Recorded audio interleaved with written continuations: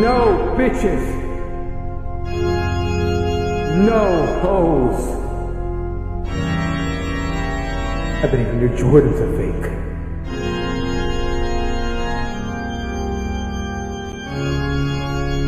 You're deathless machine!